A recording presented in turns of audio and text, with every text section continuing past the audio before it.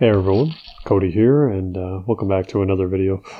Today I've got another dabbed painting for you. Corrugated plastic to, well actually, oh yeah, I forgot to use the trowel on this one. So I used a trowel and I poured some of my white off the side of my table. So there's a giant pile of white paint now on my floor. Not as if there wasn't paint there before. So I guess it's not really uh, much different than before I made this painting. But anyway, colors I'm using just blue. I think it's, I don't know, just a regular blue, uh, orange, red, and white. Now, I can tell you right off the bat that I really enjoyed this painting. So I was really impressed with the color displacement and just the way that it turned out. Like, I really liked this painting.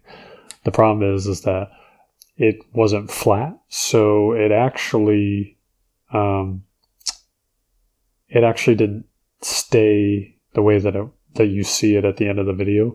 It pulled together, so uh, the painting actually got ruined, and it was really disappointing because I was really impressed with it, and then it pulled, so uh, the painting did not end up the way that I wanted it. So I was really disappointed in that because it looked very, very cool, and I actually had to throw it away because the colors kind of ran together and didn't look good.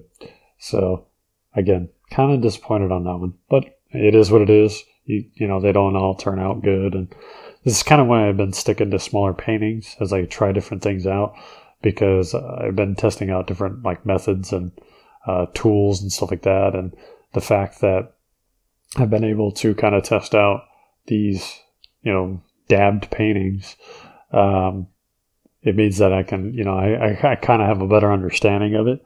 And when I go to do some larger ones of this style, I'll have an idea of already uh, like how they're going to turn out and, and what's going to happen with them. So I would recommend that if you paint at all, whether you do abstract or not, you know, if you're going to test something out, test it on smaller, you know, obviously like smaller canvas or watercolor paper or something like that, where you can kind of get an idea of, you know, you can get a feel for it before you move on to large canvas. I've I've gone on the large canvas without testing stuff before, and and I've ruined paintings uh, doing it. So here, what I'm doing is just kind of displacing some of the color so that it's a little more evened out.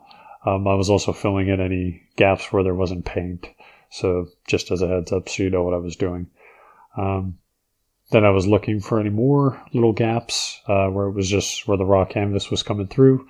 And once I had them kind of all filled in, uh, then the painting was pretty good. So again, I was really happy with this painting. Really disappointed that it didn't turn out, uh, that it got ruined at the end because I really liked it. But it is what it is. I'm sure I can make another one in the future. And that's just, these things happen. Um, so ripped off the tape. You'll see it as kind of the final thing. And then that's pretty much it. So I don't know about you guys. I, uh, you know, I love again. I like doing the scrape paintings, but these paintings are just turning out really well, and I'm really enjoying making them. And I kind of go through cycles, but at the same time, like I, if I don't enjoy it, then it's harder for me to even get around to making them.